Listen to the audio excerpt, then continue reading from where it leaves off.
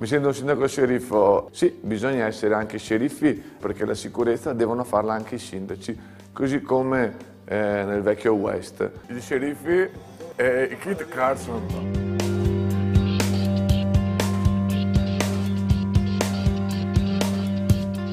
La damigiana era il simbolo di quella raccolta fondi che abbiamo fatto per Campello, un meccanico che improvvisamente si trovò un ladro in casa, gli sparò dietro, aveva paura di essere accusato di eccesso di legittima difesa, invece io portai tutta la gente in piazza, la città si schierò appunto a difesa del nostro meccanico perché anche se sparò due colpi di fucile, questi colpi furono indirizzati al sedere del ladro. In Italia dovremmo affrontare prima o poi la questione in modo più serio della prostituzione. Si devono creare eh, dei luoghi di tolleranza controllati dai comuni, dallo Stato, eh, dalla sanità e dove finalmente si pagano in modo regolare eh, le tasse. Ciao comandante, magari se mi mandi due agenti qua in, in municipio è il decreto Maroni che ci ha permesso di usare queste ordinanze piuttosto severe. Ho usato a piene mani queste, eh, queste armi, queste ordinanze. Ciao, così vi faccio vedere come sono le nostre dotazioni. Buongiorno.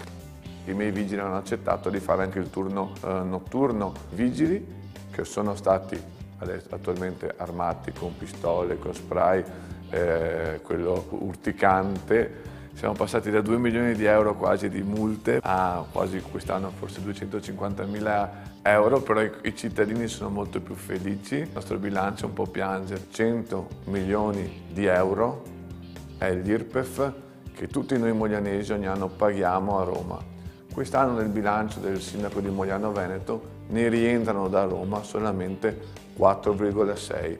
Una previsione il prossimo anno, questo ritorno da Roma a Mogliano sarà ulteriormente ridotto a 3 milioni,7. Quindi un fiume di denaro che dai nostri territori arriva a Roma e non torna più indietro. Cazzo, se inutile parlare.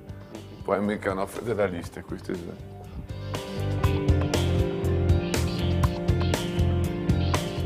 Attualmente la lista civica è il primo partito in città con ben oltre il 20% dei voti. Governa la città insieme con la Lega Nord, il secondo partito di Mogliano ed insieme solamente con due liste abbiamo ottenuto al secondo turno ben oltre il 60% dei voti. In passato c'è stato un periodo in cui ho fatto per un breve periodo il sindaco anche con una coalizione di sinistra, una coalizione che metteva insieme tutta il centro-sinistra. a quel tempo a livello locale la sinistra lanciò un'idea, che era quella delle primarie. Abbiamo sbaragliato tutti i candidati che erano appoggiati dai grandi leader nazionali, così tutto il centro-sinistra ha avuto l'obbligo di appoggiare questa civica e questo strano sindaco.